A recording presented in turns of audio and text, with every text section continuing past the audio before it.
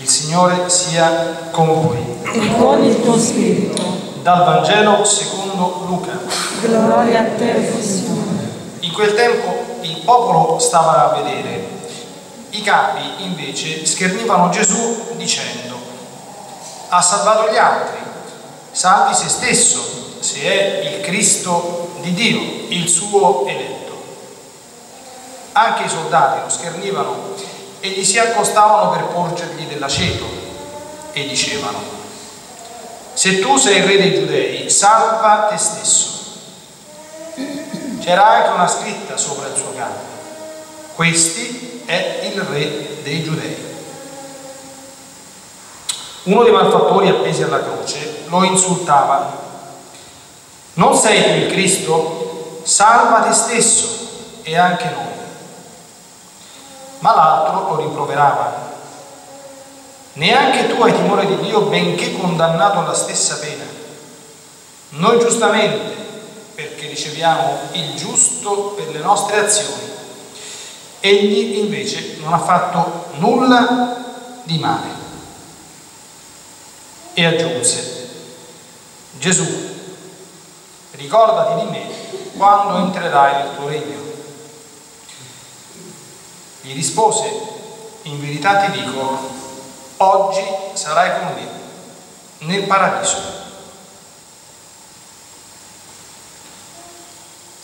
Parola del Signore. Gloria a Cristo.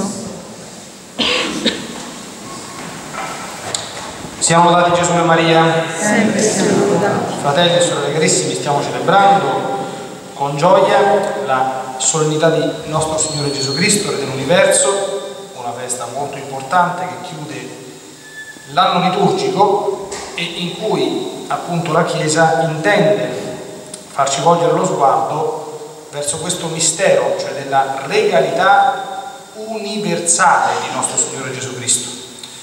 Cioè Gesù non è semplicemente come i re umani un re piccolo, cioè che ha uno Stato, una nazione, neanche come gli imperatori romani che si credevano i padroni della terra, hanno avuto dei grandi territori, dei grandi imperi, ma sono tutti finiti senza sotto un metro di terra e l'impero romano adesso è diventato materia dei libri di storia, non c'è più, non esiste più.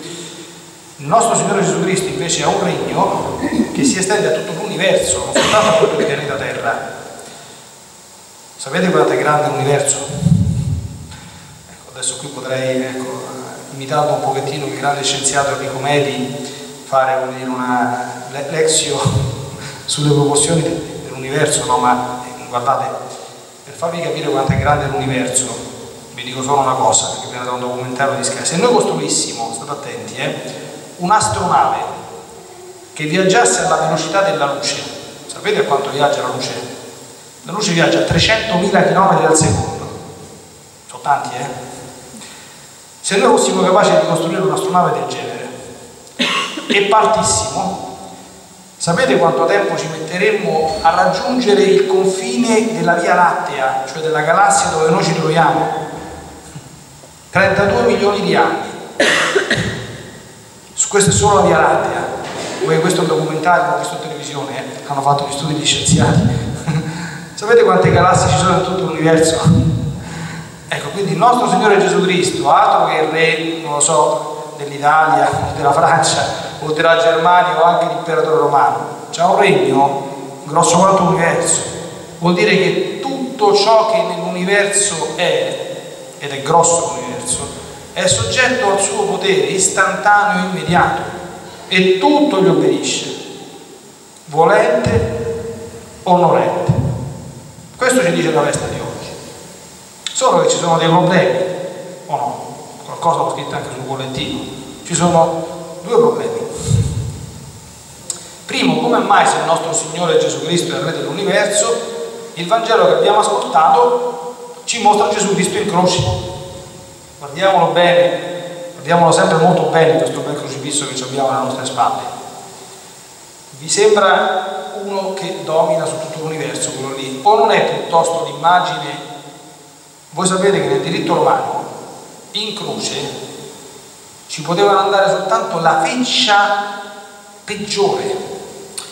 Ieri, proprio ieri mi sembra, è stata la festa delle basiliche dei Santi Pietro e Paolo e spiegavo durante l'omelia che Pietro e Paolo sono stati martirizzati insieme lo stesso giorno, solo che Pietro è stato crocifisso al contrario sul Colle Vaticano, San Paolo non ce l'hanno potuto mettere in croce, se no ce l'avrebbero messo, lo sapete perché?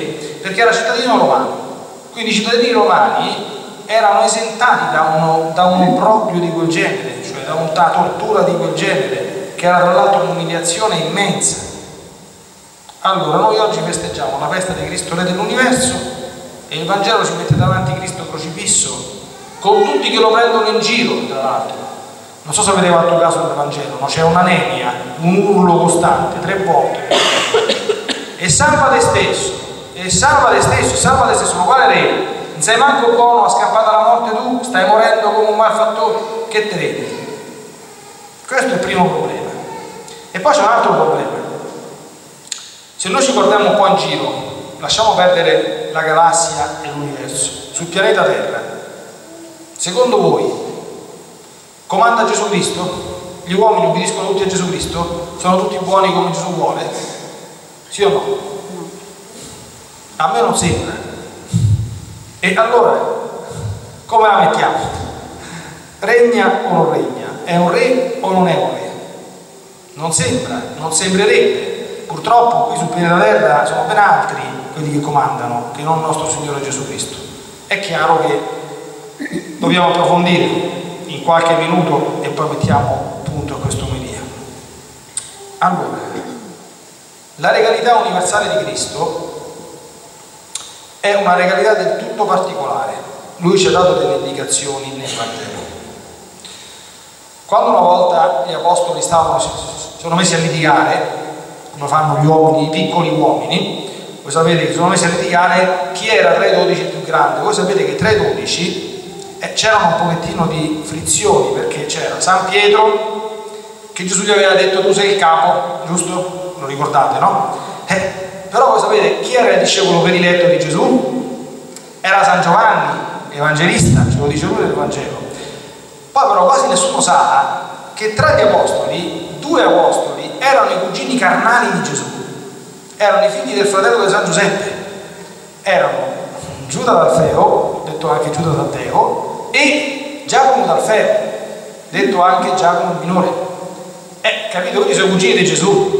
Allora, se si mettevano a litigare gli apostoli, San Pietro diceva, poi io sono il capo perché me l'ha detto Gesù, e San Giovanni diceva, eh sì, io però sono prediletto, tutti quanti i segreti Gesù li confida a me, e San Giacomo e San Giuda dicevano, eh sì, io però ci giocavo insieme da, quando eravamo piccoli e c'era la Madonna che ci faceva da maestri a me e a Gesù, voi dove stavate? Ha voglia litigare, no? Che cosa dice Gesù per fermarlo? Dice, che state a fare? Avete capito niente di quello che io sono? Gli spiega proprio cosa vuol dire essere re secondo la sua mente. E gli dice, guardate, amici miei, nel mondo i capi e i re cosa fanno? Sono grandi, esercitano il potere si fanno chiamare Signore e gongolano nel prevaricare, nel far sentire il peso del potere. Avete visto quando qualcuno diventa Presidente della Repubblica o capo del governo, adesso io sono il capo, mo ti faccio vedere io, comando io. Tra noi però non è così. Perché chi vuole essere il primo, disse Gesù, deve essere l'ultimo di tutti. Chi vuole essere grande deve fare il servo di tutti e chi vuole essere il più grande, state attenti, usa proprio questo termine, deve fare lo schiavo di tutti. O lo schiavo. Anche qui potremmo dire, voi sapete come campavano gli schiavi ai tempi dei romani? Terrificante.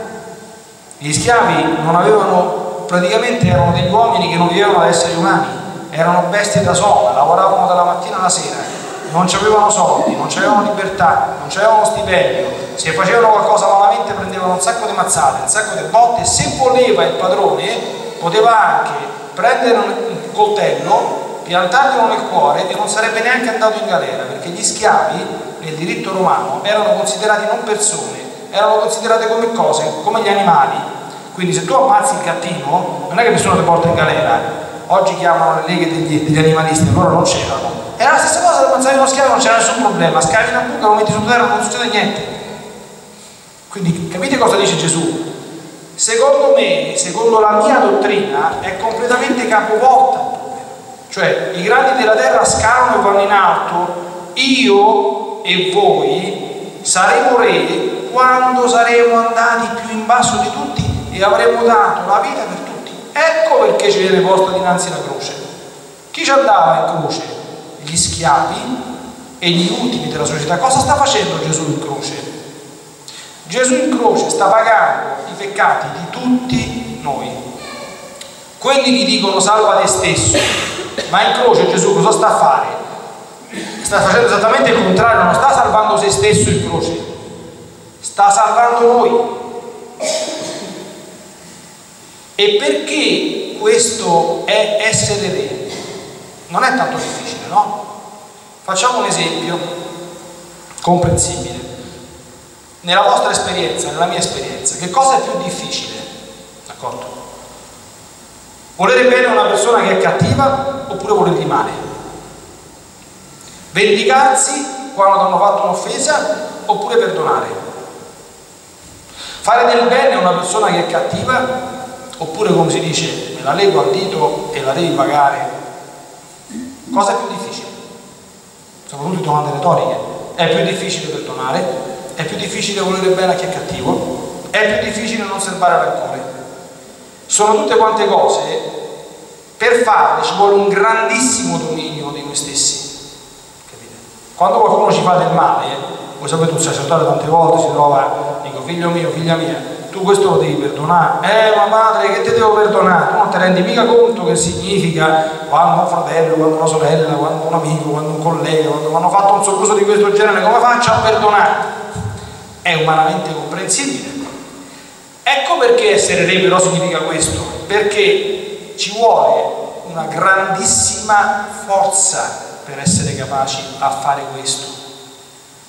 A spaccare la faccia, perdonatemi il termine, uno che è cattivo, non ci vuole un granché, ti viene spontaneo, perché fa talmente tanto arrabbiare, lo prendo spatti al muro, dicono a Roma. È a non fare questo che ci vuole una grande forza, una grande capacità di controllo, un grande dominio di sé e una grande carità.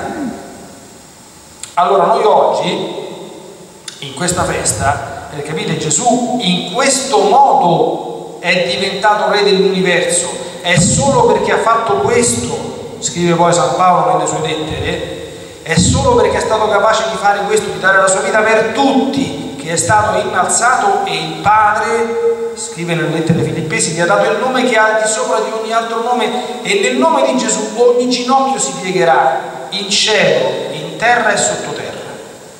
D'accordo? Quindi abbiamo risolto il primo problema.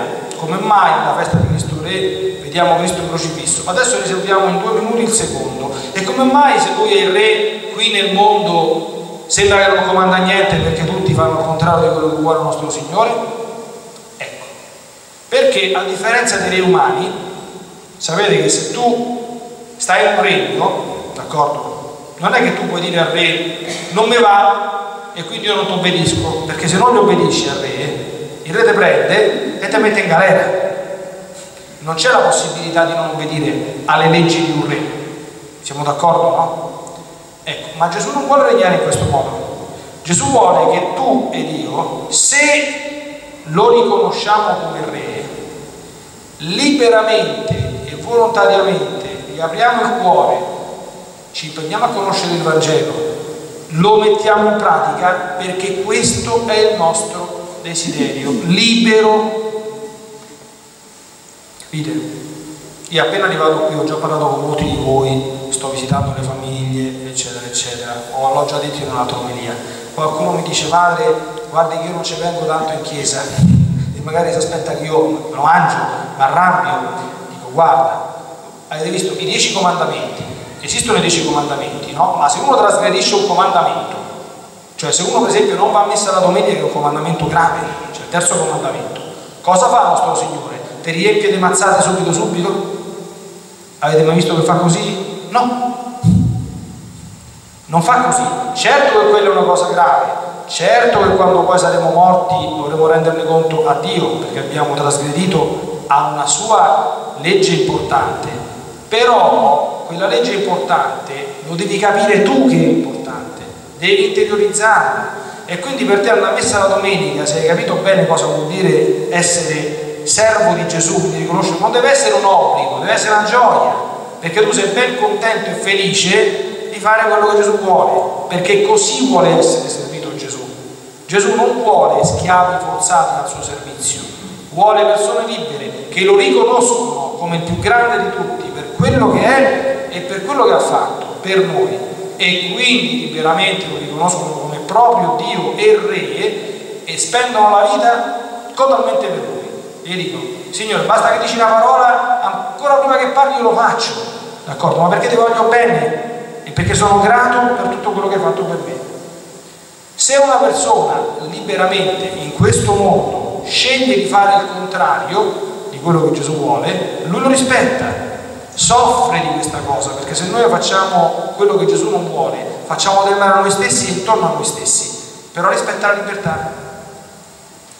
Alla fine della storia però, quando ci sarà la fine del mondo, allora adesso lo vediamo crocifisso, ma dopo tornerà nella gloria e dopo se vuoi o se non vuoi, se sei d'accordo o se non sei d'accordo, se ti piace o non ti piace, in paradiso oppure all'inferno, perché pure i demoni si dovranno mettere in ginocchio davanti a Gesù Cristo, anche se lo odiano, tutti dovranno riconoscerlo come re per quello che è.